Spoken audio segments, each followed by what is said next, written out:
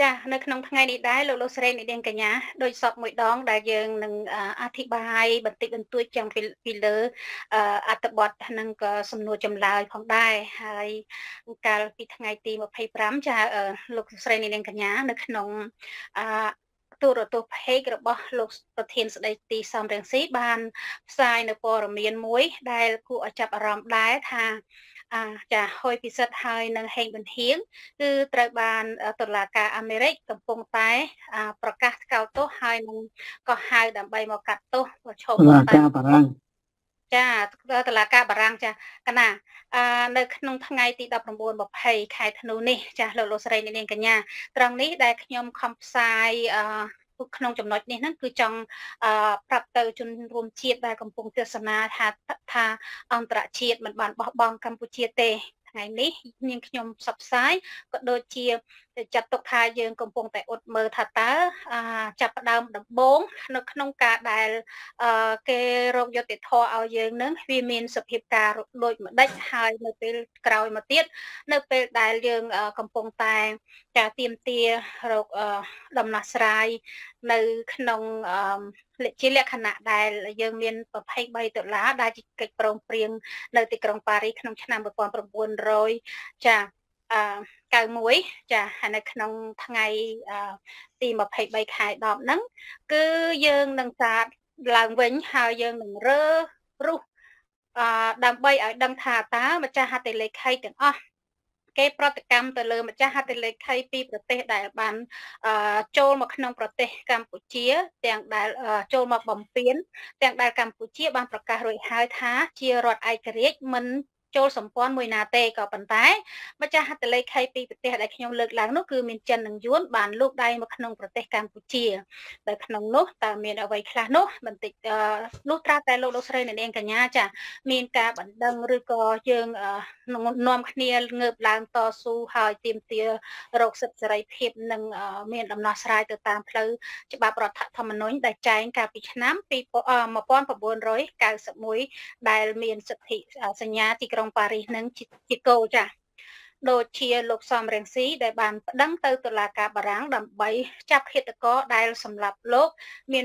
មានបំណងប៉ុនប៉ងសម្លាប់លោក ដែលមានការបញ្ជាពីក្រោយខ្នងដោយហ៊ុនសែនចា៎ដូច្នេះលោកលោកស្រីនេះកញ្ញាកុំឲ្យខាតពេលយូរគ្រាន់តែជាដំណឹងបឋមទេសម្រាប់ជនរួមជាតិខ្មែរទាំងអស់ឲ្យមានសង្ឃឹមឡើងក្នុងការងើបឡើងឬបំរាស់ព្រោះប្រាប់ថាអន្តរជាតិមិនបោះបង់កម្ពុជាចោលជាដាច់ខាត ចាំមកដល់ពេលនេះដែរចាយើងនឹងមានប្រធានបទហ្នឹងដែលយើងនិយាយអំពីថាវិបត្តិសង្គមបើគ្មានការតវ៉ាទាមទារដោះស្រាយនោះតើបានដែរឬទេដូច្នេះតើប្រទេសហ្នឹងបើគ្មានការទាមទារឲ្យដោះស្រាយហ្នឹងតើប្រទេសហ្នឹងអាចនឹងដឹកមកនាំទៅមុខទេបើទាមទារឲ្យដោះស្រាយ អឺនៅតែគ្មានដំណោះស្រាយហើយបើមិនទៀមទាឲ្យដោះស្រាយតើប្រទេសនឹងលិចលង់ទៅដល់ចំណុចណាទៅសំណួរនេះផងដែរខ្ញុំព្រះករណាសូមប្រកេនថ្វាយព្រះអង្គសូមព្រះអង្គមានត្រធរដេកាព្រះជាបឋមសូមអភិវ័នបន្ទន់កាយវិចាចិត្តក្រាបថ្វាយបង្គំចំពោះគុណប្រតនត្រ័យគុណពុទ្ធគុណពធនិងគុណប្រសង្ឃដោយសេចក្តីគោរពកត់ក្រាយយ៉ាងក្រៃលែង និងសូមនមស្ការចំពោះព្រះធេរានុធិរៈគ្រប់ព្រះអង្គគង់នៅគ្រប់វត្តអារាមនិងទីឋាននានាទាំងក្នុងនិងក្រៅប្រទេសដោយសេចក្តីកត់ក្រែងបានពោញោមសំណពសំណួរញោមវាគ្មិនញោមថាការីញោមដតីដតីទាំងក្នុងសុខនិងក្រៅសុខតាមរយៈទូទួសង្គ្រោះជាតិក្រុងអបតាប្រទេសកាណាដានៅរាត្រីនេះ ហើយសេចក្តីអឺស្រឡាញ់រាប់អាននិងនឹករលឹកអំពីចម្ងាយយើងមើលឃើញទាំងអស់គ្នាថារបបសពថ្ងៃគឺរបបហ៊ុនម៉ាណែតនិងរបបហ៊ុនសែនគណៈបព្វជិជនការអំណាចតែសឹកឆ្នាំ ឲ្យយួនលើបន្ទប់នេះកើតឡើងអឺនៅការឈឺចាប់ជាច្រើនដល់ពលរដ្ឋខ្មែរជាប្រទេសជាពិសេសគឺប្រទេសនិងសាសនាខ្មែរយើងនឹង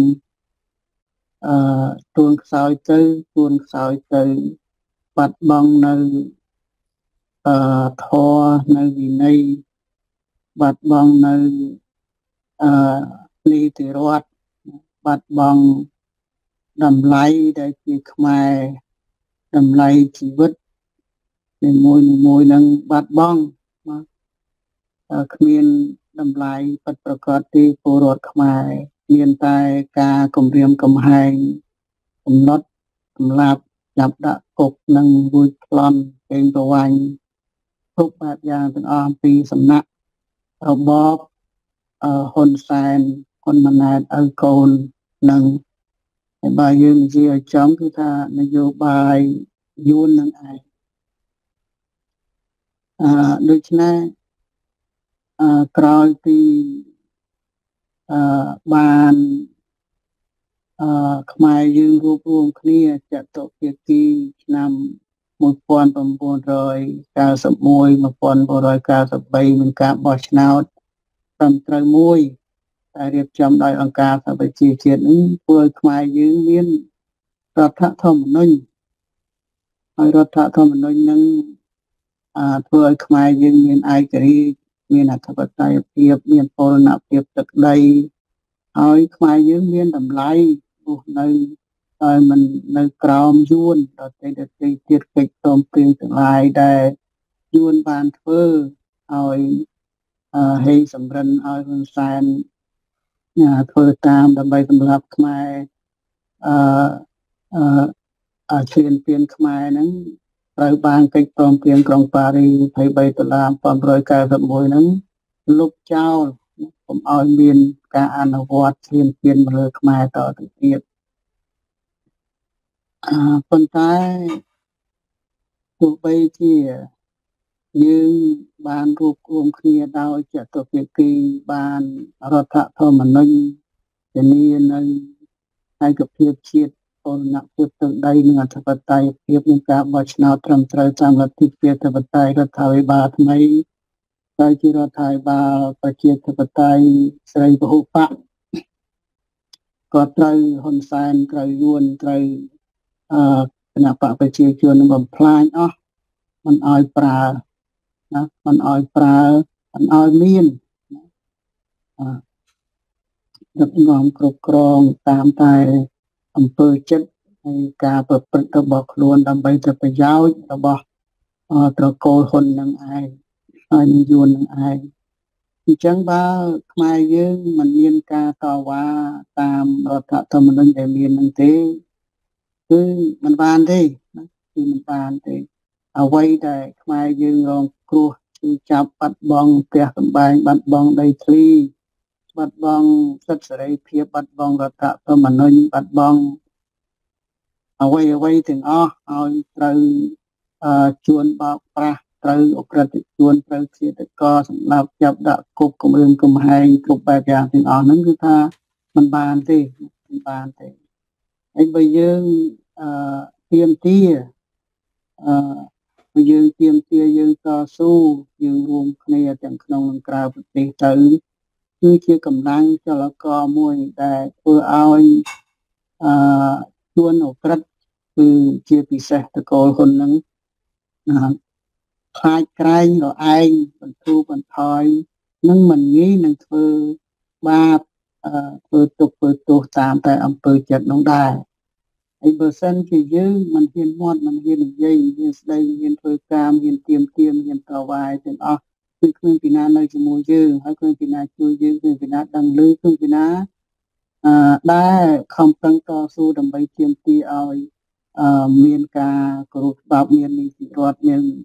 យុទ្ធធម៌សង្គមមានសីលធម៌សង្គមមានប្រជាធិបតេយ្យមានសេរីភាពអឺ មានសិទ្ធិមនុស្សអីហ្នឹងទេគឺថាវាមិនបានទេវាមិនបានទេហើយរឹតតែធ្វើឲ្យហ៊ុនសែនហ៊ុនម៉ាណែតគណៈបកប្រជាជួននឹងជួននឹងណាសម្រាប់ខ្មែរយើងកាន់តែកាន់តែសាហាវពេកផ្សាយកាន់តែបានជោគជ័យឆាប់ឆាប់ទៅទៀតហើយយួនហ៊ុនសែនហ៊ុនម៉ាណែតគណៈបកប្រជាជនដែលធ្វើរហូតដល់40ឆ្នាំហ្នឹងมันបានជោគជ័យតាមសេចក្តីខ្លួនប្រាថ្នាដោយសារតែការទៀមទាតប អអំពីពលរដ្ឋខ្មែរទាំងក្នុងនិងក្រៅប្រទេសនឹងឯងដូច្នេះអាត្មានិយាយថាបើយើងមិនតស៊ូយើងមិនតវ៉ាយើងមិននិយាយស្ដីយើងមិនធ្វើអឺយើងធ្វើការអឺភ័យខ្លាចរស់នៅភ័យខ្លាចហើយ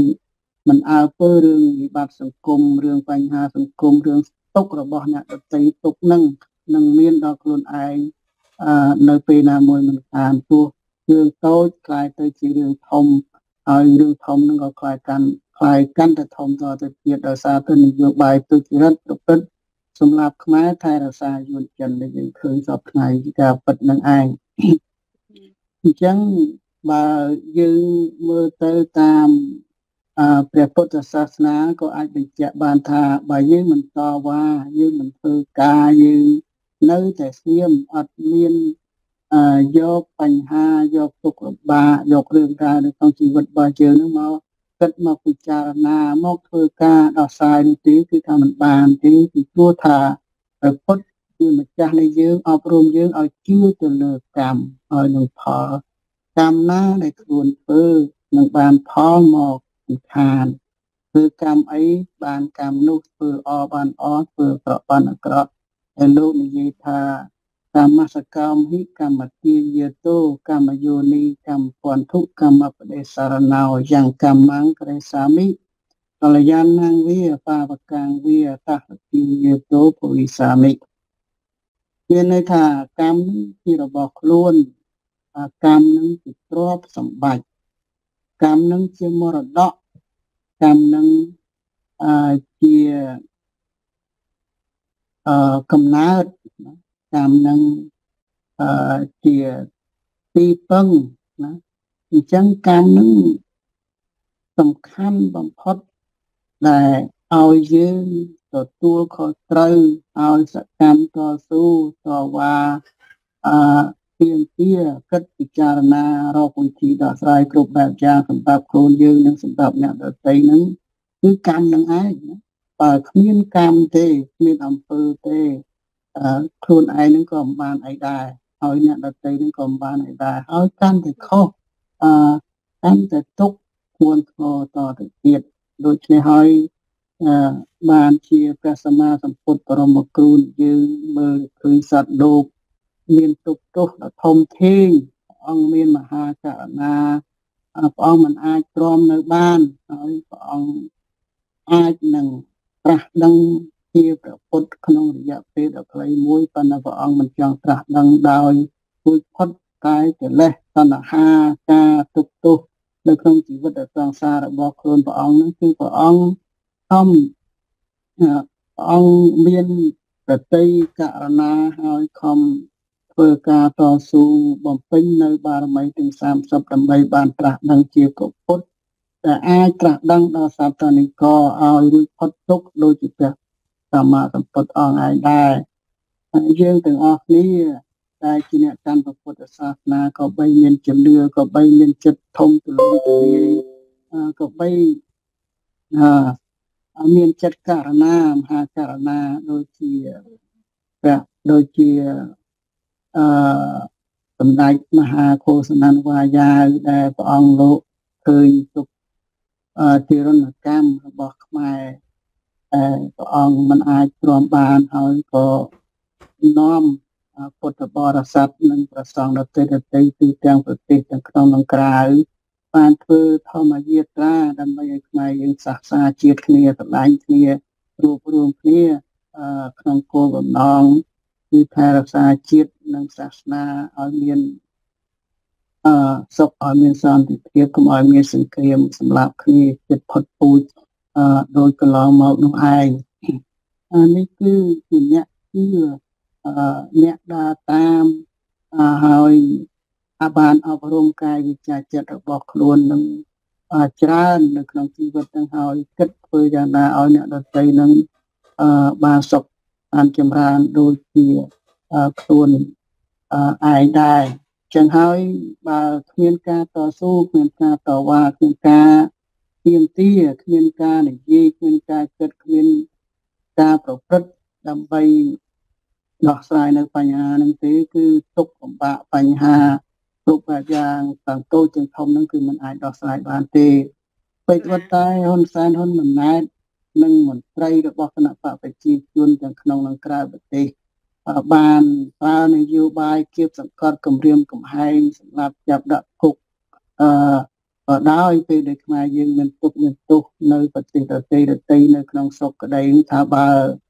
មាត់បាននិយាយបើស្ដីបង្ហាញនៅការឈឺចាប់នៅភាពពិតសច្ចធម៌សូមឲ្យអ្នកមានអំណាចនឹងដោះស្រាយអ្នកមានអាវុធយុទ្ធភ័ណ្ឌអ្នកដែលមានតួនាទីក្នុង រដ្ឋបាលនឹងដោះស្រាយរកឲ្យឃើញនៅមនុស្សខូចរកឲ្យឃើញនៅអំពើខុសឆ្គងនេះគ្រប់បែបយ៉ាងទាំងអស់ឲ្យដោះស្រាយពលរដ្ឋខ្មែរទៅតាមរដ្ឋធម្មនុញ្ញយ៉ាងដូចនេះក៏ដោយក៏ការគម្រាមកំហែងទាំងអស់នោះហើយអឺអឺហើយនឹងសន្យាថាដោះស្រាយដោយដោយសារការគម្រាមកំហែងទាំងអស់នោះมันឃើញមានការដោះស្រាយទេមិនឃើញមានការដោះស្រាយទេដូច្នេះយើងឃើញថាបើ អឺបើមន្ត្រីទាំងអស់នោះគម្រាមកំហែងដូច្នេះកុំអោយមាត់កុំអោយនិយាយមិនអោយស្ដីហើយសន្យាថានឹងដោះស្រាយដូច្នោះក៏យើងមិនឃើញថាមានការដោះស្រាយដែរគឺអឺមានតែជើងនឹងទុកលំបាកគ្មានគេដឹងគ្មានគេលើគ្មានជាតិគ្មានអន្តរជាតិឲ្យគេដឹងគេលើក៏គ្មានសម្ពាធគ្មានចលករគ្មានកម្លាំងឯណាដើម្បី ធ្វើឲ្យអ្នកមានអំណាចអ្នកមានទូនាទីនៅទួលខុសត្រូវដោះស្រាយបានដែរអញ្ចឹងហើយជំរើសមួយដែលអាចដោះស្រាយបានគឺមានតែទៀមទាអឺឲ្យគេដឹងឲ្យគេលឺឲ្យគេឃើញទាំងក្នុងនិងក្រៅប្រទេសទើបដោះស្រាយបញ្ហានឹងបានអញ្ចឹងសូមខ្មែរយើងទាំងក្នុងនិងក្រៅប្រទេសរួមទាំងប្រសងផងមានទុកមានលំបាកអឺអឺ យ៉ាងណាយ៉ាងណាជាពិសេសគឺពុទ្ធបរិស័ទរបស់ព្រះអង្គមិនគួរមើលមិនឃើញមិនគួរគ្មានចិត្តមេត្តាករណាមិនគួរមានព្រមវិហារធម៌អឺដែលមិនមិនគួរមានព្រមវិហារធម៌ដែលជាគ្រឹះនៃសិលធម៌ដ៏ចម្បងជាពិសេសគឺអ្នកបុស្សនឹងអឺអឺមិនជួយមិនអឺ អាណិតមិនអាសូរមិននៅជាមួយហើយបែរជានៅតែជាមួយអ្នកធំអ្នកមានអឺអឺជាពិសេសគឺតកូលហ៊ុននឹងអឺគឺជាការខុសឆ្គងដ៏ធំធេងណាស់ជាពិសេសពីអ្នកបួសនឹងឯងក៏ឲ្យជាមេត្តាករណាមិនកើតបើគេមេត្តាករណាគេមិនបានតំណែងអំណាចរបស់គេទៅបើសម័យឥឡូវនេះគេបង្កើតក្រមដើរបោកប្រជាពលរដ្ឋយកលុយហើយឥឡូវតករណាធ្វើមិនបានលុយ អូអ្នកខ្លះគិតអញ្ចឹងមែនណាក៏ប៉ុន្តែអឺបើគិតតែលុយមានថាមានន័យថាមនុស្សហ្នឹងវាគ្មានតម្លៃទេក្នុងជីវិតហ្នឹងគិតទៅលុយលុយហ្នឹងមានតម្លៃជាងជីវិតហើយជាតិសាសនាក៏គ្មានតម្លៃដែរយកជាតិសាសនាជាផ្លូវដើម្បីរកតែលុយនឹងឯងវាអត់មានតម្លៃអីទេអញ្ចឹងបើគិតតែលុយហើយ គិតតែទួលនាទីគិតតែងារឲ្យនៅនៅតែបំរើមនុស្សខូចមនុស្សអាក្រក់ជួនពៀលនិងបំរើនយោបាយមនុស្សអាក្រក់ដូចនេះទុកទុកលំបាកវេទនាគ្រប់បែបយ៉ាងធ្លាក់ទៅដល់ជាតិធ្លាក់ទៅដល់សាសនាធ្លាក់ទៅដល់ខ្លួនឯងនឹងដែរហើយលុយនេះពីណាអឺអឺសគួតទៅពីណាស្លាប់ទៅមិនអាចយកទៅជាមួយទេថែមទាំងបាបកម្មផងដែរដែលខ្លួនឯងគ្មានចិត្តអឺគ្មាន មានចិត្តល្អគ្មានជីវិតល្អគ្មានមេត្តាករុណាគ្មានចេះជួយសង្គ្រោះអ្នកដទៃហើយអ្នកដទៃដែលមានទុក្ខលំបាកហើយសារទៅនយោបាយអាក្រក់ដូច្នោះបែរជាបន្ថែមកំហុសតទៅទៀតអាមកពីខ្លួនឯងខុសមកពីខ្លួនឯងអឺមិនល្អមកពីខ្លួនឯងមិនធ្វើតតាមនយោបាយបពពួករបស់ខ្លួនឯងបានជាមានទុកទោសដូច្នោះ គឺជាបាបកម្មណាគឺជាបាបកម្មមិនមែនជាបុណ្យទេ គឺជាបាបពីព្រោះថាបើអឺមនុស្សអាក្រក់ធ្វើអំពើអាក្រក់ទៅលើអ្នកដទៃគ្មានយុត្តិធម៌គ្មានសច្ចធម៌គ្មានគោរពទូនាទីរបស់ខ្លួនឯងជាអ្នកដឹកនាំអឺធ្វើជាចៅធ្វើជាអ្នកគម្រាមកំហែងសម្លុតសម្លាប់ចាក់ដាក់គុកគ្មានរំលោភរដ្ឋធម្មនុញ្ញគ្មានធម៌គ្មានវិន័យយ៉ាងដូចនោះឲ្យខ្លួនឯង មានកំណត់ដូចគ្នាឲ្យធ្វើតាមដូចគ្នាដូចខ្ញុំមិនមែនជាបនទេគឺជាបាបណាគឺជាបាបហើយបាបនេះនឹងមានពិតប្រកបណាស់ណានឹងមានពិតប្រកបណាស់ខ្លួនឯងអឺក៏ដឹងអ្នកដតីក៏ដឹងដែរទុកទោសនឹងកើតមានដល់ខ្លួនឯងជារៀងរាល់ថ្ងៃរហូតដល់អវសាននៃជីវិតដោយឃើញតម្លៃពិតប្រកបទេណាបើយើងឃើញសច្ចធម៌ឃើញការពិតដូច្នោះអាចមានតម្លៃពិតប្រកបទេ កុំឃើញគេថ្វាយបង្គំកុំឃើញគេគោរពកុំឃើញគេខ្លាចហើយថាខ្លួនឯងមានមានតម្លៃនោះគ្មានទេដោយសារតែគេមើលមិនឃើញក៏ប៉ុន្តែសច្ចធម៌ការពិតតែខ្លួនឯងប្រព្រឹត្តរាល់ថ្ងៃនោះវាថោកណាវាមិនថ្លៃពីការពិតនោះឯងអឺខ្ញុំសូមជឿនពរចម្រើនពរប៉ុណ្ណឹងបាទគណៈអរប្រគុណព្រះអង្គនៅដំបូលមានដ៏ត្រចះត្រចង់នេះផងដែរសម្រាប់លោកវ័យសរិនវិញនៅក្នុងសង្គមមួយវិបត្តិទាំងអស់នេះ បើសិនជាប្រជាពលរដ្ឋខ្មែរក៏ដូចជាអ្នកដែលមានភាពអយុត្តិធម៌ទាមទាររកយុត្តិធម៌ទាមទារឲ្យមានការដោះស្រាយក៏ប៉ុន្តែគ្មានការដោះស្រាយត្រឡប់មកវិញជូនប្រជាពលរដ្ឋតែក្នុងនាមខ្លួនគឺជាអ្នកដែលប្រកាសក្តែងក្តែង ថាខ្លួនឯងនឹងមានលទ្ធិប្រជាធិបតេយ្យក្នុងការបោះឆ្នោតអីនឹងប្រជាពលរដ្ឋបោះឆ្នោតឲ្យដល់ទៅ80ជាងភាគរយអីនឹងជាដើមប៉ុន្តែអឺ80ជាងភាគរយដែលក្នុងន័យដែលគេបកស្រាយមកដែលជាជាសញ្ញាឆ្នោតជាង80ភាគរយអីហ្នឹងនៅពេលដែលប្រជាពលរដ្ឋម្ចាស់ឆ្នោតដែលបោះឆ្នោតឲ្យដល់ទៅជាង80ភាគរយមានបញ្ហាតែគេមិនព្រមដោះស្រាយឲ្យតើសង្គមនេះបើបើគិតឲ្យសពសពទៅគេកំពុងតែលេងលបែង ដឹកនាំដោយមិនចាំបាច់មានការតវ៉ាបើសិនជាគេគៀបសង្កត់អានឹងក៏ស្រេចតែគេទៅហើយរងទីរុនទៅតាមដែលគេគៀបសង្កត់ក៏ដូចជាគេបោកប្រាស់ទៅហើយជពាក់លុយធនាគារគឺត្រូវតែសងទៅតានិយាយឲ្យចំទៅគឺដោះស្រាយខ្លួនឯងគ្មានមុខអ្នកដឹកនាំណាជួយដោះស្រាយដល់ប្រជាពលរដ្ឋទេសម្រាប់លោកវិញចាទស្សនភាពដែលខ្ញុំកំពុងតែលើកឡើងនេះតើអ្នកដឹកនាំកំពុងតែនាំប្រទេសរបស់យើងនឹងទៅវិលទៅកន្លែងចំណុចណាទៅវិញលោកអាចបកស្រាយ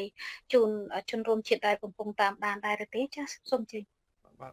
ជាប្រធានសូមថ្វាយបង្គំប្រតិជនកណ្ដាលជាទីសក្ការៈហើយនឹងសូមជម្រាបសួរដល់បងប្អូនជនរួមជាតិបាទអត់សូវលឺខ្ញុំអត់សូវលឺទេគុណណាឥឡូវឥឡូវលឺខ្លាំងហើយបាទលឺហើយចាលឺហើយអឺបញ្ហាវិបត្តិសង្គមនៅក្នុងប្រទេសកម្ពុជាសប្តាហ៍ដែល យើងចាត់ទុកថាជាវិបត្តិមួយដែលបង្កើតដោយរដ្ឋាភិបាលដូច្នេះបញ្ហារោគដំណោះស្រាយគឺវាមានការពិបាកដូចជាបងប្អូនមានវិបត្តិផ្នែកខាងដីធ្លីបងប្អូនតែងតែមានការតវ៉ានិងមានឯកសារត្រឹមត្រូវទាំងអស់ទៅតវ៉ាដើម្បីឲ្យមានដំណោះស្រាយប៉ុន្តែរដ្ឋាភិបាលនោះបែរជាយកកងអាជ្ញាធរនឹងទៅបង្ក្រាប ដល់បងប្អូនអ្នកតវ៉ាហ្នឹងចា៎ការពារអ្នកដែលរំលោភនៅដីធ្លីរបស់គាត់អានេះគឺជាបញ្ហាមួយប៉ុន្តែបើសិនជាគាត់នៅស្ងៀមបន្តវ៉ាអានោះវារឹតតែស្ងៀមស្ងាត់ទៅទៀតគ្មានណាដឹងថារដ្ឋាភិបាលនេះកំពុងតែអនុវត្តនៅរបបផ្ដាច់ការរបបជិះចិនហើយនឹងបពុនិយមហេតុអីបានខ្ញុំថាបពុនិយមពីព្រោះគេការពារ អ្នកដែលមានអំណាចអ្នកដែលមានលុយដែលទៅរបោះយកដៃធ្លីរបស់តែបងប្អូនហើយដូចជាវិបត្តិអឺតែខាងអឺហិរញ្ញវត្ថុគឺបងប្អូនយើង មានការចាញ់បោកដោយការលួងលោមអង្វរពីវិនិយោគទុនដូចជាក្រុមហ៊ុនអឺ CIC ដែលគ្រប់គ្រងដោយលោកគ្រូជោគជ័យហ្នឹងថាបងប្អូនបានចាញ់បោកអស់ច្រើនប៉ុន្តែបងប្អូនបានធ្វើការទៀមទា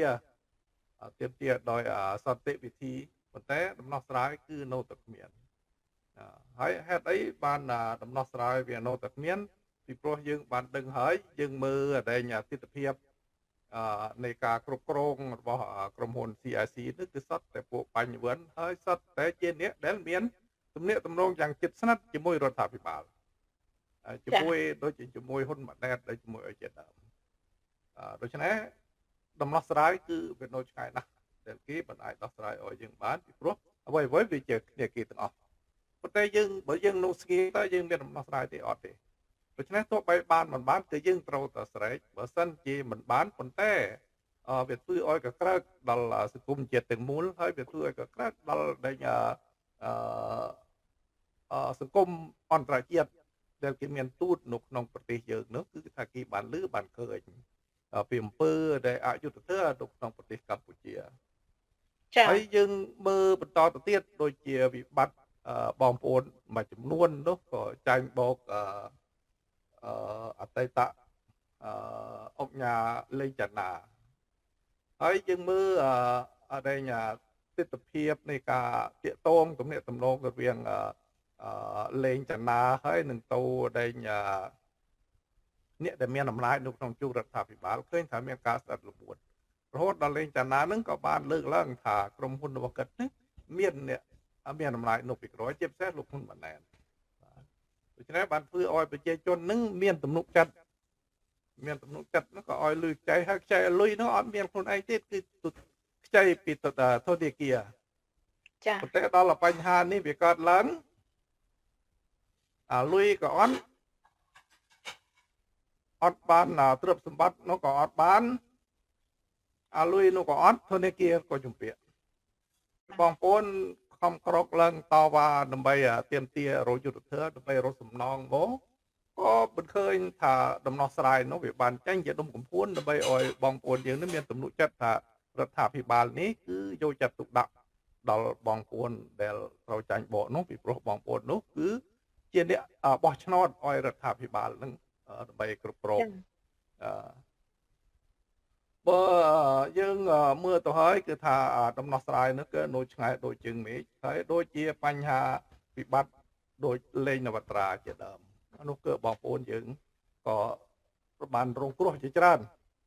ដោយលោកលេងនវត្រានោះយើងក៏ចោទថាឆោបបចុះពីព្រោះហេតុអីបានយើងថាឆោបបពីព្រោះបងប្អូននោះខំរលុយសឹងថាយើខ្លាចជាឈាមសម្រឹមនឹងបាន1ដុល្លារ1ដុល្លារ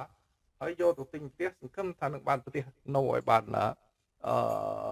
ស្រួលសក្តិរមនានឹងគេអប៉ុន្តែបន្ទុយទៅវិញនៅលេខចនានោះបែរជាថាខ្សោយទុនហើយផ្ទះនោះក៏អត់បានអប្រាក់ក៏អស់ពាក្យធនធាគារទៀតតើតើដំណោះស្រាយមានទេដែលបងប្អូនខំតវ៉ានោះគឺថាវាអត់មានតើយើងសង្កេតមើលទៅហេតុអីបានលេងនៅវត្រានោះត្រូវជាតែ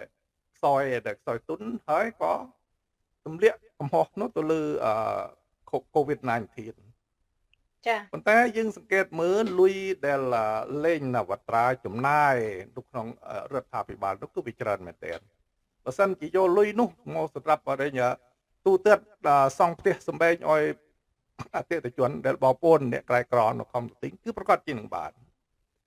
ដូចយើងមើលអរិញឯកសារមួយខ្ញុំអឺមិនបាន កត់ត្រាទុកពិតប្រកបទេគ្រាន់តែចាំជាតួតួអឺនៅពេលដែលកូវីដចាប់ផ្ដើមផ្ទុះឡើងលេខ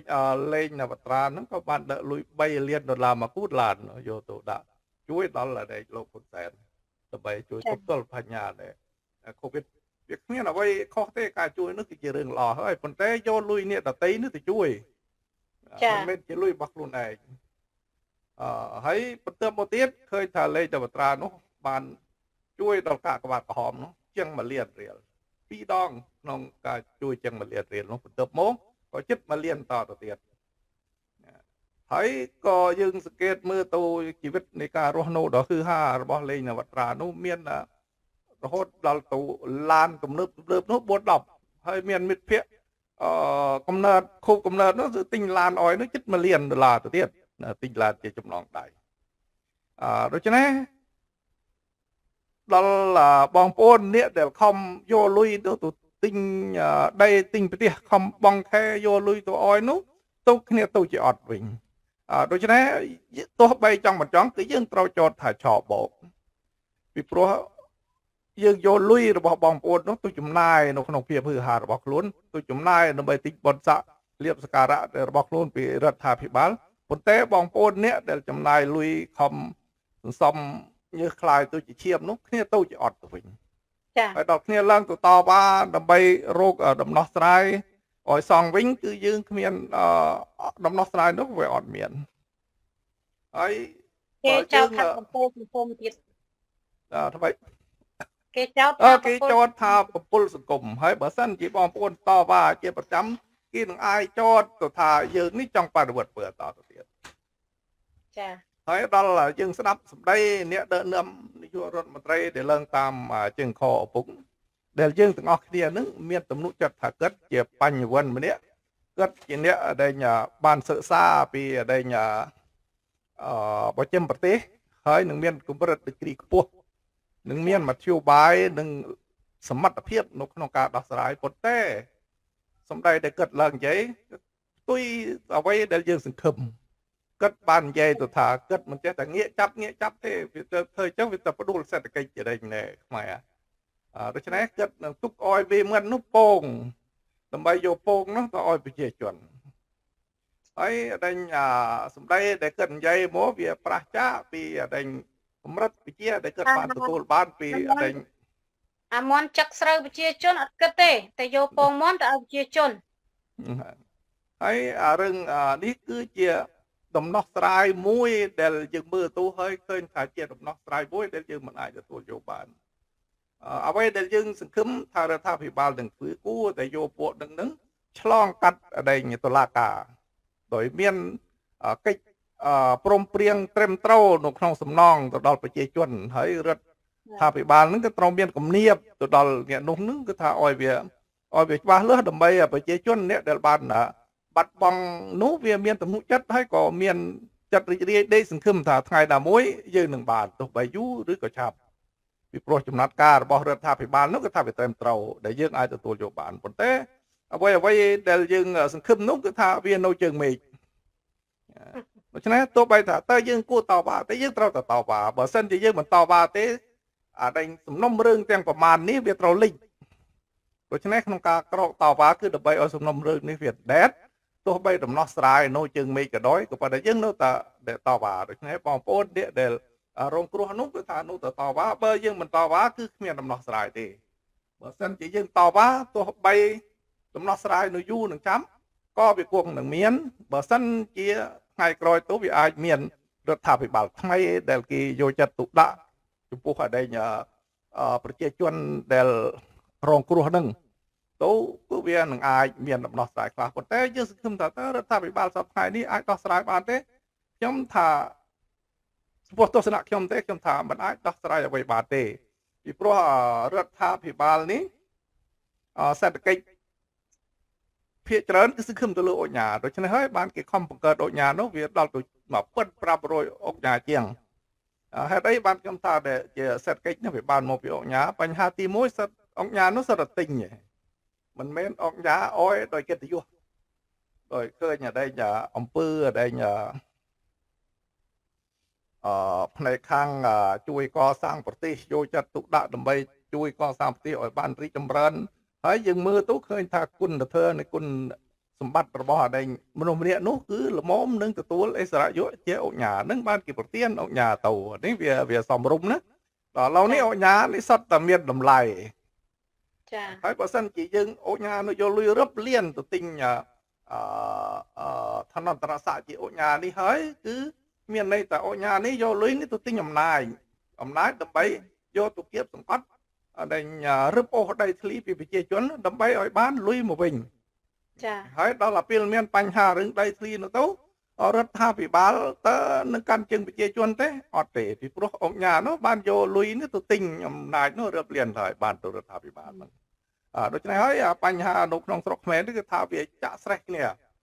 វាចាក់ស្រេះគ្នារហូតដល់យើងមិនសង្ឃឹមថានឹងអាចមានដំណោះស្រាយទេហើយអពិសេសទៅទៀតគឺសេដ្ឋកិច្ចខ្មែរយើងនេះក៏ចំពោះរដ្ឋាភិបាលគេថាសេដ្ឋកិច្ចនេះគឺថាវារីកចម្រើនរហូត រហូតដល់ឆ្នាំ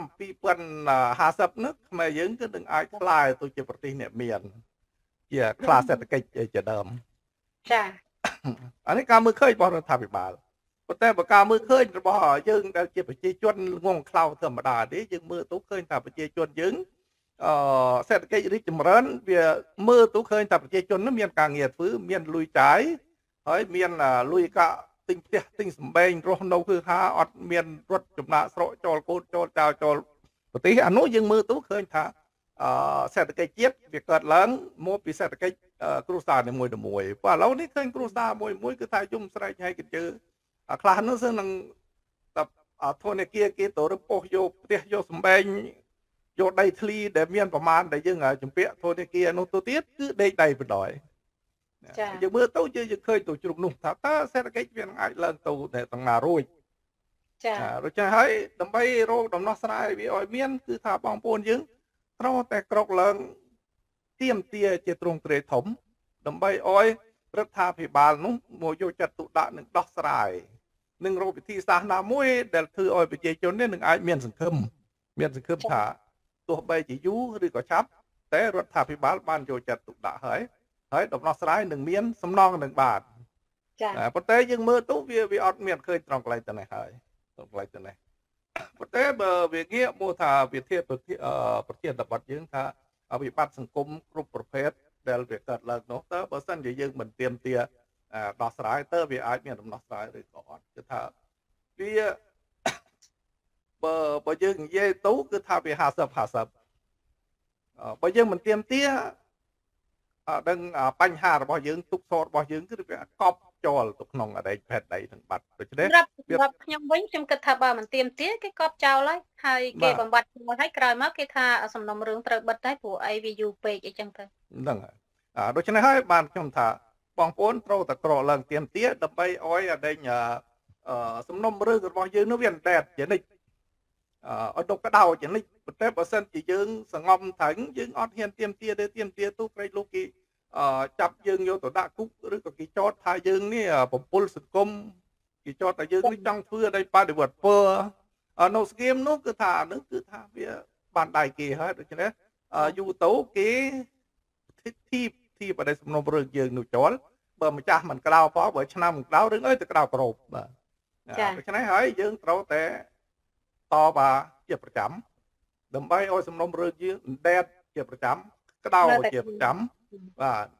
បើបើយើងមិនធ្វើចោះទេសំណុំរឿងយើងនឹងកប់បាទដូច្នេះឥឡូវក្នុងបញ្ហានេះខ្ញុំសូមចូលរួមប៉ុណ្្នឹងសិនបាទសូមអរគុណបាទចាសសូមអរគុណលោកវ៉ាសរឿនលោកលោកស្រីអ្នកនាងកញ្ញាដោយលោកលោកវ៉ាសរឿនលើកឡើងមកអញ្ចឹង ត្រូវតែមានការតវ៉ាដើម្បីឲ្យសំណុំរឿងយើងនៅតែក្តៅដដែលកាលណាតែយើងមិនតវ៉ាទេមិនដោះស្រាយទេទោះបានប្រជាប្រយោជន៍ឬក៏អត់ក៏ប៉ុន្តែយើងដាស់បញ្ហាឲ្យនៅក្តៅក្តៅដដែលកុំឲ្យវាបាត់ស្ងប់ឈឹងទៅគេនឹងកប់ចោលហើយគេចោទថាយើងមិនតវ៉ាពីមុនមកហើយរឿងនោះគេធ្វើជាបំភ្លេចចោលក៏ដូចជាគេថាសំណុំរឿងនោះគឺត្រូវបិទហើយដោយសារតែវាយូរពេកអីចឹងទៅលេស100ចម្ពោះដែលវា ខាងរដ្ឋាភិបាលមានល្បិចសម្រាប់ដោះស្រាយចាលោកលោកស្រីអ្នកនាងកញ្ញាថ្មីថ្មីនេះលោកអឺលោកវ៉ាសរឿនក៏ចាលោកបាននិយាយឲ្យថាការតវ៉ាទាំងប្រមាណមួយម៉ាត់កពុកពីរម៉ាត់កពុកដូច្នេះដូចខ្ញុំនិយាយអញ្ចឹងមុននេះបន្តិចដើមចាដើមព័ត៌មាន មុននឹងចូលកម្មវិធីផ្សាយខ្ញុំបាននិយាយអំពីហេតុលោកប្រធានសំរងស៊ីដោយសារតែការតាមធ្វើឃាតសម្រាប់លោកពីម្ដងហើយម្ដងទៀតរហូតទៅដល់មានបំទុះក្របបែកអីនឹងជាដើមនេះជាការប្រមាថហើយចង់សម្រាប់លោកចោលតែម្ដងប៉ុន្តែដោយសារតែជីវិតថ្លៃចាសហវាបើប្រៀបធៀបនិយាយឲ្យងាយស្រួលស្ដាប់ស្ទើរតែចង់និយាយថាជីវិតនោះគឺជាជីវិតដែលអមតៈដែលពិបាករស់វាមិនមាន មិនមានជីវិតណា ដែលស៊ូជាមួយក្របបែករួចដោយលោកសំរងស៊ីទេខ្ញុំខ្ញុំមានអារម្មណ៍មួយថាស្ញើសរសើរខ្លាំងមែនទែនដែលសំណាងមួយនៅក្នុង1000គ្រោះថ្នាក់នៅគឺគាត់សន្លប់នៅក្នុងត្រកធ្លុកឈាមតែម្ដងប៉ុន្តែនៅតែមានសំណាងរស់រហូតព្រោះគាត់មិនអាចស្លាប់បានទេព្រោះប្រទេសជាតិត្រូវការគាត់ខ្លាំងណាស់ហើយគាត់នៅតែរើបំរាស់ទីមទារកយុទ្ធធរប្តឹងរហូតដល់តុលាការបារាំងចាស់ ក៏ហៅហេងមិនហៀងហើយនឹងហុយពិសិដ្ឋដើម្បីទៅកាត់ទោសហើយនៅក្នុងការកាត់ទោសនឹងដែរសូម្បីតែបារាំងក៏ដឹងដែរថាអ្នកដែលបញ្ជាហេងមិនហេងមិនហៀងហើយនឹងហុយពិសិដ្ឋគឺជាហ៊ុនសែននឹងទៀតផងចំណុចនេះហើយបានចង់មកភ្លឺដល់បងប្អូនជនរួមទៅតវ៉ាដើម្បីឲ្យអ សំណុំរឿងរបស់យើងនៅក្តៅហើយម្យ៉ាងទៀតយើងមាន23ដុល្លារដែលជាខ្នងបង្អែករបស់យើងដែលជួយឲ្យយើងមានកម្លាំងចិត្តសម្រាប់តបតហើយយើងមានគំរូលោកសំរងស៊ីកំពុងតែប្តឹងឃាតករដែលសម្រាប់លោកកំពុងតែឈានជើងទៅរកគោលដៅនៃសេចក្តីបំណងឬក៏បានសម្រេចអីនឹងជាដើមជាបន្តទៅទៀតនេះខ្ញុំប្រកាសណាមានសំណួរចង់សួរនឹងប្រកេនទៅព្រះអង្គថាអឺ នៅក្នុងសង្គមមួយនេះឲ្យតតវ៉ាគឺគេចោតគេចាប់ដាក់គុកដាក់ច្បាប់អីនឹងជាដើមកុំថាឡើយត្រឹមបានតវ៉ាសំបីតែការនិយាយរកយុត្តិធម៌ជូនដល់ប្រជាពលរដ្ឋថ្មីថ្មីនេះព្រះអង្គអឺ ហ៊ុនសែននិងហ៊ុនម៉ាណែតបានចែកអំណោយឲ្យទៅ ប្រជាពលរដ្ឋក្រីក្រ ហើយមានការលំអៀងអីនឹងជាដើមប្រជាពលរដ្ឋណាដែលមិនអឺអើជាមួយនឹងគុណសន្តិភាព គឺមិនទទួលបានអំណោយទេ ត្រង់នេះហើយបានជាលោកសុនចន្ទធីចាមេបកកម្លាំងជាតិហ្នឹងក៏លើកឡើងមកនិយាយធម្មតា បើគ្មានគណៈបកប្រឆាំងដើម្បីរិះគន់ទេគឺมันមានបន្ទាត់ណាដើម្បីនាំលំហដឹកនាំរបស់ គណៈបកកណ្ដាលអំណាចឲ្យដឹកនាំស្របទៅនោះទេគួរតែអរគុណទៅគណៈបកប្រឆាំងបើគ្មានគណៈបកប្រឆាំងទេ កូនចៅជន់ក្រោមរបស់អ្នកដឹកនាំនឹងគឺក្បត់អ្នកដឹកនាំហើយស៊ីលើស៊ីក្រោមពីប្រជាពលរដ្ឋហើយស្អុយឈ្មោះតែអ្នកដឹកនាំទេយើងគួរតែលើកសម្ដីរបស់គណៈបកប្រឆាំងយកមកពិចារណាថាកូនចៅរបស់ខ្លួនធ្វើអ្វីដាក់ខ្លះដាក់ប្រជាពលរដ្ឋក្នុងនាមយើងជាអ្នកកាន់អំណាចយើងត្រូវតែរកយុត្តិធម៌និងរកដំណាភាពឲ្យប្រជាពលរដ្ឋដើម្បីឲ្យប្រជាពលរដ្ឋនៅថែសន្លឹកឆ្នោតឲ្យយើងជាធម្មតាគឺអញ្ចឹងប៉ុន្តែមិនដូច្នោះទេដោយសារតែលោកសុនចន្ទធីនិយាយការពិតនេះហើយបានត្រូវបានគេចាប់ដាក់គុកទៀតត្រង់ចំណុចនេះហើយបានជាកណាចង់សួរទៅព្រះអង្គថាថាបើប្រទេសកម្ពុជា ឲ្យតែមានអ្នកណាមួយហ៊ានលេចមុខបន្តិចរងយុត្តិធម៌ជូនប្រជាពលរដ្ឋអ្នកណាមួយនិយាយឲ្យប៉ះយួនតែបន្តិចក៏ត្រូវតែគុកមួយម៉ាត់ក៏គុកពីរម៉ាត់ក៏គុកបីម៉ាត់ក៏គុកបើគ្រប់យ៉ាងរើមិនរួចបំរាស់មិនបានថ្ងៃណាក៏ថ្ងៃគុកអញ្ចឹងតើការដឹកនាំមួយនេះនឹងនាំប្រទេសឲ្យអន្តរាយដែរទេព្រះអង្គសូមព្រះអង្គមានសង្ឃដីកាព្រះអង្គណា សូមនមស្ការសាជាថ្មីបដាញោមយុទ្ធសាស្ត្រគោលនយោបាយនិងការធ្វើនយោបាយរបស់ហ៊ុនសែនហ៊ុនម៉ាណែតគណៈបព្វជិជនសពថ្ងៃនេះកំពុងតែធ្វើឲ្យខ្មែរយើងពីនេះអន្តរាយបាត់បង់អ្វីៗទាំងអស់ខ្មែរយើងធ្លាប់មានអឺ ខ្មែរយើងខ្លាយទៅជាក្រីក្រវេទនាខ្មែរយើងធ្លាប់មានគុណធម៌សីលធម៌ស្រឡាញ់គ្នាល្អណាស់នៅក្នុងអឺស្រុកទីហ្នឹងចេះជួយគ្នាក្នុងគ្រាក្រគ្រាលំបាកគ្រប់បែបយ៉ាងទាំងអស់ខ្លាយទៅជាខ្មែរស្អប់គ្នាបែកបាក់គ្នាគិតតែលុយកាក់ដូចញោមមានប្រសាសន៍អញ្ចឹង គិតតែមានគិតតែបានគិតតែទួនាទីហើយទិញទួនាទីទិញងារទិញបនស័កមកធ្វើបាបខ្មែរគ្នាឯងមានទួនាទីមានបនស័កឲ្យអឺក៏ខំប្រឹងធ្វើបាបពលរដ្ឋនឹងជាសង្កត់យកលុយយកកាក់ទ្រព្យសម្បត្តិត្រូវលួចលួចត្រូវប្លន់ប្លន់ត្រូវសម្លាប់សម្លាប់ត្រូវធ្វើអីតាមពើចិត្តដើម្បីរក្សានៅទូនាទីតំណែងបពុអឺដើរតាម អឺគ្រួសារហ៊ុននឹងឯងដើរតាមតកូលហ៊ុននឹងឯងដើរតាមនយោបាយអឺពវិជាតិវិសាសនាសម្រាប់ខ្មែរថែរក្សាយួនចិននឹងឯងដូច្នេះពិតប្រកបណាស់នយោបាយ40ឆ្នាំដែលហ៊ុនសែននឹងយួនរហូតដល់ហ៊ុនម៉ាណែតធ្វើសពថ្ងៃនេះគឺដើម្បីសម្រាប់ខ្មែរបំផ្លាញខ្មែរកំទេចខ្មែរហើយយកយួនយកចិននឹងអឺជា ទីពឹងជាចវាយហើយជាអ្នកថែរក្សាការពារជីវិតនយោបាយរបស់ខ្លួនឯងនឹងឯងប្រវត្តិសាស្ត្រខ្មែរយើងកន្លងមកមានត្រកូលអភ័យវង្សនៅខេត្តបាត់ដំបងក្បត់អឺព្រះរាជាហើយអឺធ្វើការបម្រើសៀមអឺអឺគ្រប់បែបយ៉ាងទាំងអស់ តែឥឡូវនេះមានតកូលហ៊ុននឹងឯងការតកូលអភ័យវងនៅតែខេត្តបាត់ដំបងហ្នឹងទេក៏ប៉ុន្តែតកូលហ៊ុននេះគឺនៅអឺគ្រប់គ្រងប្រទេសទាំងមូលយកប្រទេសទាំងមូលទៅឲ្យចិនឲ្យយួនទៅម្ដងហើយខំសម្រាប់ខ្មែរគ្រប់បែបយ៉ាងនឹងឯងក៏ប៉ុន្តែនយោបាយសម្រាប់ខ្មែររបស់ហ៊ុនសែនហ៊ុនម៉ាណែតគណៈបកប្រជាជននេះមិនបានជោគជ័យទេទោះទោះ តែខ្មែរយើងមានរដ្ឋធម្មនុញ្ញអឺរួចស្រេចហើយហើយខ្មែរយើងមាន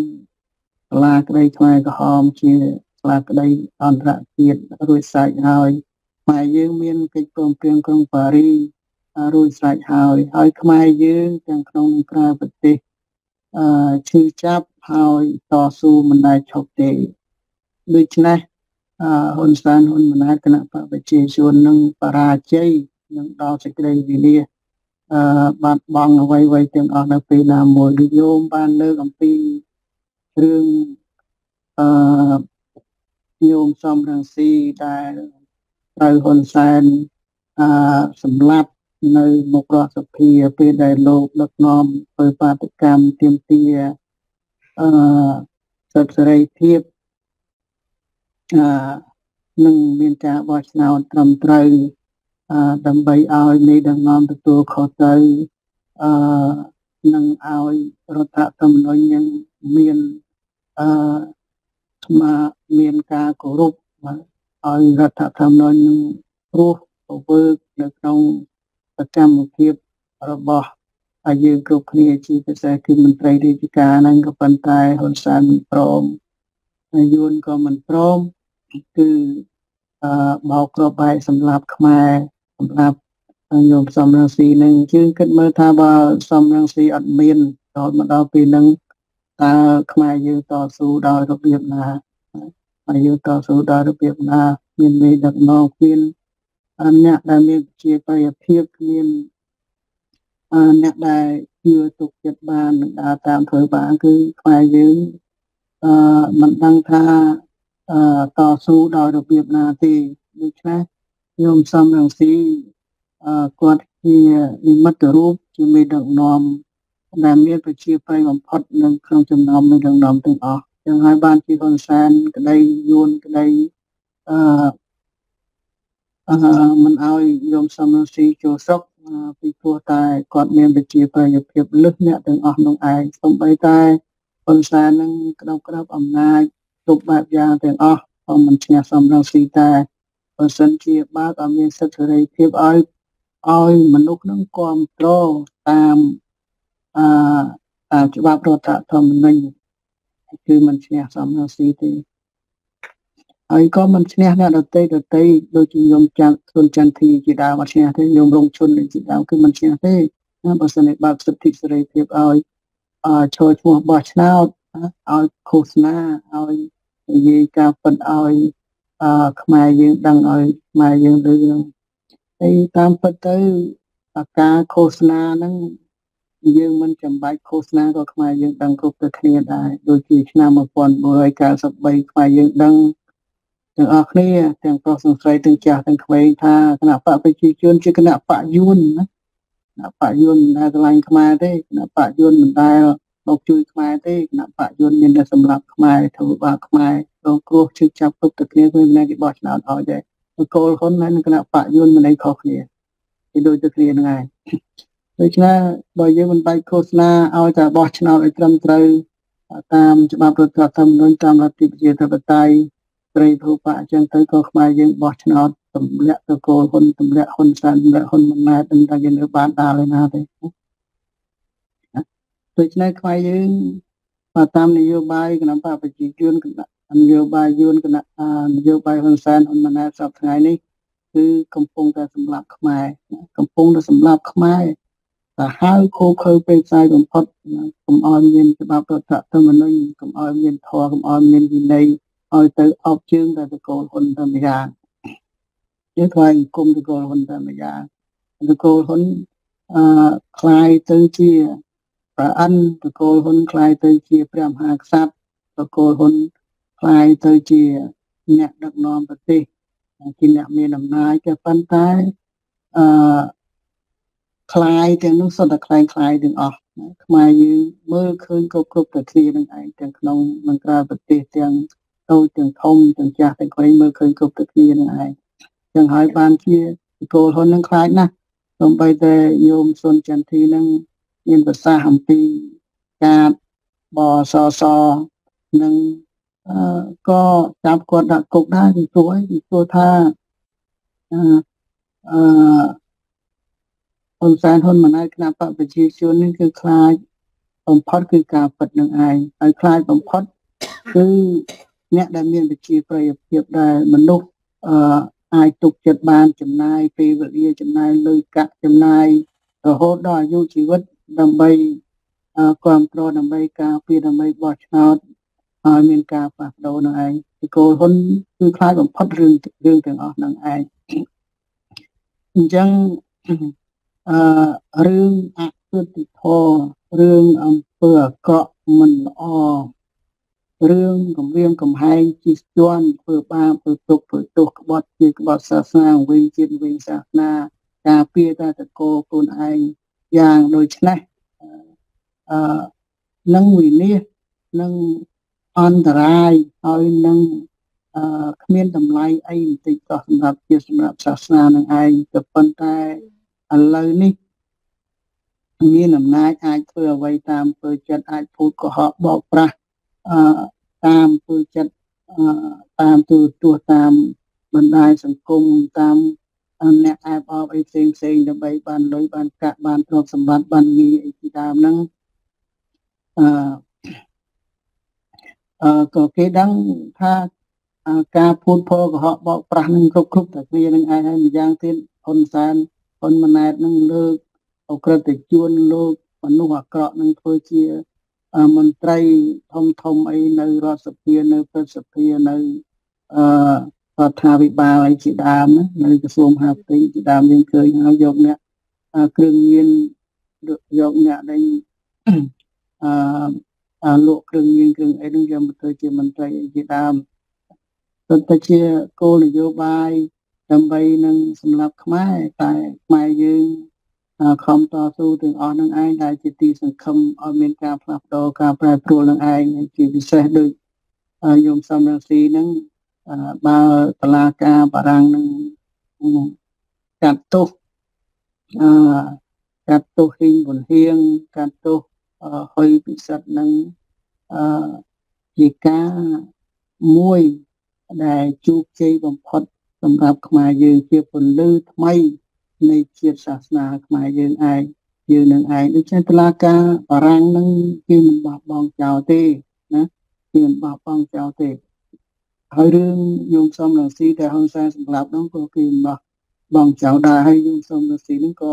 គាត់មិនបោះបង់ចោលដែរដូច្នេះរឿងអយុត្តិធម៌គ្រប់បែបយ៉ាងទាំងអស់ដែលហ៊ុនសែនហ៊ុនម៉ាណែតគណៈបព្វជិជនយួនបានធ្វើហ្នឹងគឺអឺអឺគឺនឹងចាញ់ណាគឺនឹងចាញ់ហើយតាមពិតទៅ ចាញ់រាល់ថ្ងៃនឹងឯងណាចាញ់រាល់ថ្ងៃអញ្ចឹងហើយបានជាហ៊ុនសែនហ៊ុនម៉ាណែតគណៈបព្វជិជនដែលគ្រប់ច្បាប់ទេណាធ្វើតាមតែអំពើចិត្តនឹងមិនដែលដោះស្រាយឲ្យពលរដ្ឋខ្មែរទេបើដោះស្រាយឲ្យពលរដ្ឋខ្មែរអឺពលរដ្ឋអឺអឺខ្មែរហ្នឹងអឺពលរដ្ឋខ្មែរដតីដតីទៀតដែលជឿចាំក្រោមការដឹកនាំរបស់កូនរបស់ឪនឹងនឹងទៀមទាអឺ ដោយតែគ្នាហើយនឹងដោះស្រាយយ៉ាងម៉េចទៅបានមកខ្លួនឯងមួយជីវិតណាមួយជីវិតមួយតកូលខ្លួនឯងនឹងធ្វើតែអំពើអាក្រក់ធ្វើតែអំពើថោកទាបយ៉ាងដូចនេះខ្លួនឯងដូច្នេះខ្លួនឯងមិនអាចអឺដោះស្រាយឲ្យពលរដ្ឋខ្មែរបានទេក៏ប៉ុន្តែការមិនដោះស្រាយនេះមិនមានន័យថាខ្លួនឯងនៅតែអឺឈ្នះនៅតែធ្វើបានទេណាយុទ្ធធរតែងតែឈ្នះនៅអង្គើអយុធធរមុនអឺតែងតែ អឺឈ្នះនៅបាបណាបាបហ្នឹងនាំឲ្យទៅនរកទៅប្រែតទៅកន្លែងដែលថោកទាបរីឯបុណ្យនាំឲ្យទៅកន្លែងដែលថ្លៃថ្នូរខ្ពង់ខ្ពស់នាំសុខនាំចម្រើនពីនេះអឺហ៊ុនសែននគរហ៊ុនសែនគុំថាសុខគុំថាចម្រើនណាខ្លួនឯងជាចោលណាជាចោលប៉ុតប្រកបណាជាចោលគាត់ជាគាត់សាសនាវិញជាតិវិញសាសនាហើយមិនដែលធ្វើបុណ្យមិនដែលធ្វើ អឺកសលមិនដែលធ្វើអំពើល្អឲ្យសម្រាប់ខ្មែរទេមានតែលួចប្លន់ជេងប្រវាញគម្រាមកំហែងសម្រាប់ចាប់ដាក់គុកនឹងឯងអញ្ចឹងពើអាក្រក់ទាំងអស់នឹងខ្លួនឯងឃើញច្បាស់អ្នកដទៃក៏ឃើញច្បាស់ដែរអញ្ចឹងនឹងបរាជ័យណានឹងវិនិច្ឆ័យនៅក្នុងសង្គមខ្មែរនឹងមិនខានព្រោះយើងមានច្បាប់ជាតិនិងអន្តរជាតិឲ្យខ្មែរយើងទាំងអស់កំពុងតស៊ូជាពិសេសគឺខ្ញុំសំរងស៊ីបើសិនជាលាការបារាំងនឹង កាត់ទោសអ្នកទាំងពីរនឹងបានគឺថាមន្ត្រីដទៃដទៃទៀតហើយរួមទាំងហ៊ុនសែននឹងដល់ពេលអវសានហើយណានឹងដល់ពេលអវសានហើយហើយហើយនឹងដល់ណានឹងដល់ពីព្រោះយើងមានផ្លូវមិនមែនមានផ្លូវតាមតែអំពើអឺទុច្ចរិតរបស់ហ៊ុនសែនហ៊ុនម៉ាណែតគណៈបព្វជិជាជនដែលកំពុងធ្វើរាល់ថ្ងៃនេះទេខ្មែរយើងមានផ្លូវគឺខ្មែរយើងតស៊ូមិនដែលចប់នៅក្នុងនឹងក្រៅប្រទេសហើយមានច្បាប់មាន មានដឹកនាំអីដូចជាខ្ញុំសំស៊ីអញ្ចឹងក៏សូមប្រទានពរបានពរក្នុងកណាអរគុណព្រះអង្គនៅសល់ពេល2នាទីសម្រាប់លោកវៃសរឿនលោកវៃសរឿនខ្ញុំចង់ជម្រាបសួរលើកអំពីប្រធានបទរបស់យើងនឹងខ្ញុំនៅមិនទាន់បាន អស់ចម្ងល់ទេថាវិបត្តិសង្គមបើគ្មានការតវ៉ាទាមទារទៅដោះស្រាយបានដែរឬទេនឹងខ្ញុំចំណុចនឹងតើបើសិនជាយើងមិនទាមទារទេដូចលោកមានលើកឡើងពីខាងដើមអញ្ចឹងគឺគេនឹងកប់ទុកបាត់អស់រលីងទៅហើយក៏ប៉ុន្តែបើសិនជាយើងទាមទារយើងនឹងខ្លាចជាអ្នកទោសតើខ្មែរយើងគួរធ្វើយ៉ាងណាលោកចាសូមជិះលើយើងមានពេលតែ2នាទីចាសូមលោកជួយសង្ខេបបាទបាទអរគុណអរគុណបាទ នៅបញ្ហានេះគឺវាជាបញ្ហាមួយដែលវាស្ថិតនៅក្នុងការបំបាំងពីព្រោះថាបើសិនជាយើងមិនទៀមទាសំណុំរឿងរបស់យើងគឺកប់គេកប់ចោលពីព្រោះអពួកអ្នកដែលអក្រិតជនដែលអ្នកដែលប្រព្រឹត្តនៅអដែងអំពើទូរយោគឺបើគ្មានការតវ៉ាទេអានោះគឺជាសេចក្តីសុខរបស់គេហើយគេកប់ចោលហើយ ប៉ុន្តែបើសិនជាយើងមានការតវ៉ាហើយគេចាប់ដាក់គុកហើយយើងចាប់ដាក់គុកក្នុងក្នុងអដែងសម័យបច្ចុប្បន្ននេះគឺវាស្ថិតនៅក្នុងអដែងយុគសម័យមួយដែលស្ថិតនៅក្នុងអដែងគេហៅថាណែបណ្ដាញសង្គមដែលប្រើប្រាស់អេឡិចត្រូនិកដូច្នេះចាប់ដាក់គុកមួយក៏ល្បីពេញពិភពលោកមួយចាប់ដាក់គុកពីរក៏ល្បីពេញពិភពលោកពីរ ដូច្នេះតើតើការល្បីពិភពលោកនេះវាមានបានប្រយោជន៍ឲ្យមកដល់ខ្មែរខ្ញុំជឿថាបានពីព្រោះអដែងអង្គការសហជីវជាតិគេកំពុងតែដតផ្ដោតអារម្មណ៍ទៅលើប្រទេសកម្ពុជា ពីរឿងរំលោភសិទ្ធិមនុស្សរំលោភសិទ្ធិនយោបាយអឺទាំងអស់នេះហើយគឺដែលជាកត្តាមួយដែលធ្វើឲ្យនឹងអាចមានដំណោះស្រាយទៅអនាគតពីព្រោះ អឺយើងថាអង្គការសហប្រជាជាតិគេមិនចូលទៅដោះស្រាយនៅបញ្ហានោះទេប៉ុន្តែបើសិនជាយើងនៅតែតវ៉ាហើយគេនៅតែចាប់ដាក់គុកសំណុំរឿងផ្នែកខាងសិទ្ធិមនុស្សគឺវាចេះតែដេតឡើងរហូតដូចជាថ្មីថ្មីនេះឃើញនៅអង្គការសិទ្ធិមនុស្សអន្តរជាតិនៅសឺណែវនោះក៏គេបានដាក់ពិន្ទុយើងទៀបបំផុតប៉ុន្តែរដ្ឋាភិបាលយើងនោះតែបដិសេធរហូតថាអឺរបាយការណ៍នោះមិនបាន ពិនិត្យឲ្យបានគ្រប់ជ្រុងជ្រោយបាទអានេះគឺជាភាសារបស់គេនៅបដិសេធដូច្នេះអឺអ្វីដែលយើងសង្ឃឹមគឺថាបងប្អូនដែលជាពុនោះគឺអឺអឺឯកសារនឹងគឺវាបានដែតដល់អង្គការសហប្រជាជាតិគ្រប់គ្រប់ករណីដូច្នេះអឺអ្វីអ្វីវាតែមានទីបញ្ចប់របស់វាជាពិសេសអង្គើអយុធធរគឺវានឹងមានទីបញ្ចប់របស់វា វាមិនអាចស្ថិតនៅជាអមតៈបានទេ អ្វីដែលស្ថិតនៅអមតៈបាន គឺយុទ្ធធរយុទ្ធធរសង្គមអានឹងគឺស្ថិតនៅអមតៈប៉ុន្តែអយុទ្ធធរគឺវាមានទីបញ្ចប់របស់វានៅថ្ងៃណាមួយមិនខានអានេះបើយើងលើកជាអឺឧទាហរណ៍ដូចជាបញ្ហាលើងរឿងប្រឡំលោកក្តីរឿងភៀកក្តីគឺអ្នកដែលអក្រិតជនអ្នកដែលប្រព្រឹត្តដូរអំពើអយុត្តិធម៌តែងតែមានជ័យជំនះរហូតនៅខាងដើម ប៉ុន្តែដល់សាច់រឿងនៅដល់ទីបញ្ចប់គឺអ្នកទាំងនោះគឺត្រូវរលាយបាត់ស្រវល់ពីអដែងសង្គមអឺយ៉ាងណាមិញបញ្ហាយើងនៅនឹកស្រុកខ្មែរហ្នឹងគឺវានឹងដូចគ្នាគឺទីបញ្ចប់វាត្រូវតែមានបាទអានេះគឺជាកត្តាធម្មជាតិបដ ாய் ដំឡងគឺថាវាត្រូវតែមានឥឡូវខ្ញុំសូមចូលរួមប៉ុណ្ណឹងបាទសូម